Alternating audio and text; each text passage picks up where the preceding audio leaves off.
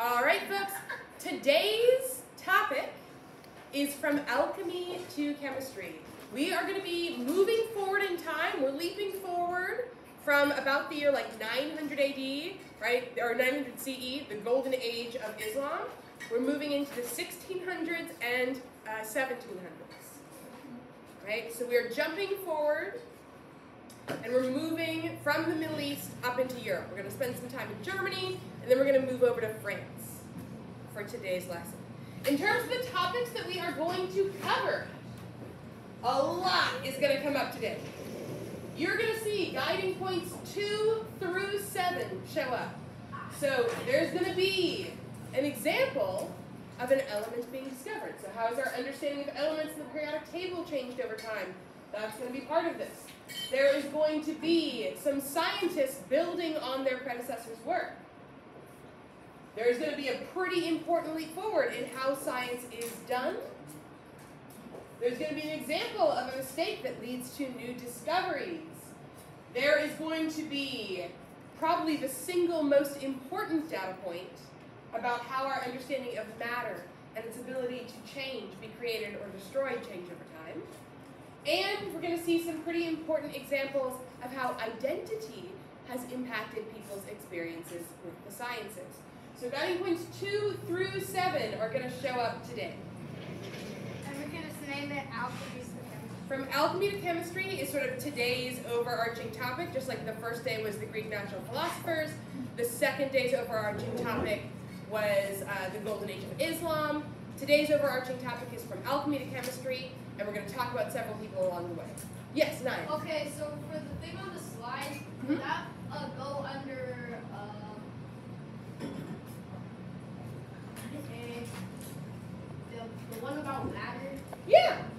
Right. So at this point in time, uh, Europe is kind of starting to get these ideas about the scientific method, or finally beginning to make their way up from the Middle East into Europe.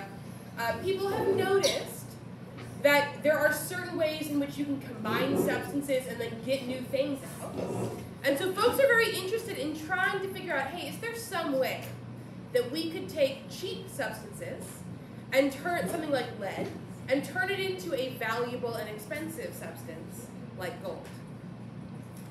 Um, the people who are trying to do this call themselves alchemists. And while that's like the overarching goal of the medieval alchemists, in practice they begin to do some much more specific work along the way. Enter these two fellows, Johann Becher and Georg Stahl. They, they didn't work together. Becher comes first, and then Stahl is going to be building on Becher's work. So Becher did a lot more of the like theory and concept, and Stahl did a lot of the testing it out with experiments.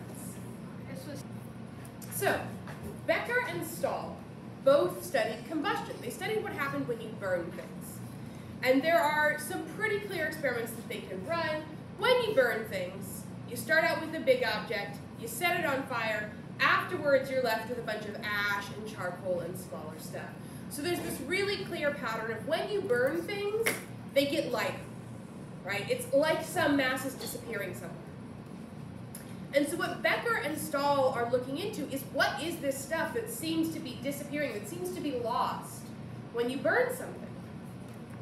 So if we think back to like, you know, Empedocles, Empedocles would say, oh, you're releasing the air element that's being burned, and the burning is an example of the fire element being released, and the charcoal and dust is the uh, example of the earth element. That's how the ancient Greeks would have thought about this. Now with like Becher and Stahl, they're saying, okay, we've got this substance, we set it on fire, something is clearly lost. They have a name for this something, which seems to be disappearing when you burn things. They call it phlogiston. P H L O G I S T O N. Phlogiston. Uh, it's written on the slide here. P H L O G I S T O N. Phlogiston. Now, what they notice is that if you have something that's on fire and you put it in a closed container, pretty much immediately what happens to that fire, or within a few seconds? it dies. Yeah, fires will die if you put them in a sealed container. And so their explanation for this is that when you burn something, you're releasing this phlogiston. And when you release that phlogiston, it's being sort of absorbed into the air. Uh, if you ever, has anyone here ever made sweet tea or Kool-Aid or something where there's like a powder that's being dissolved in water? Yeah.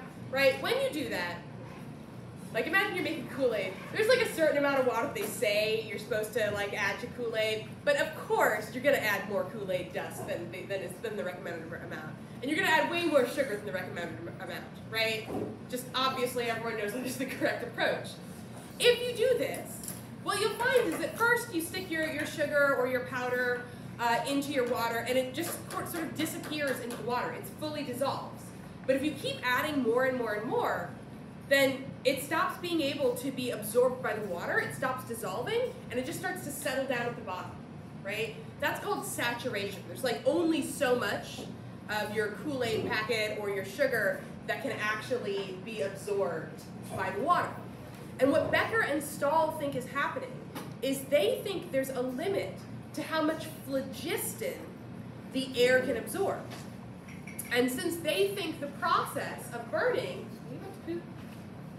they think the process of burning is just releasing your phlogiston into the air, and therefore the reason why you can't burn something if you have it in, in, an enclosed container is they think the air gets saturated with phlogiston, and then it won't let you pull any, it won't let you release any more from the object. So that's their explanation for why uh, you know a candle goes out if you put it under a jar.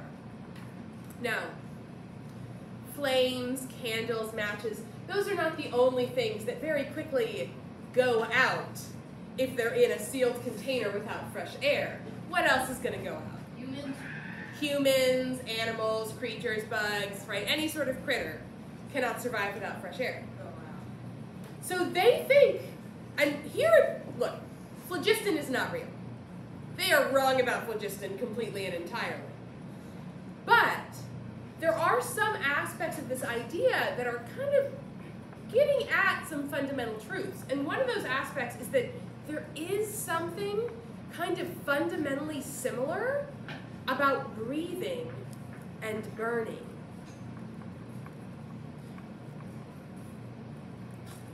A candle or a creature cannot survive without fresh air.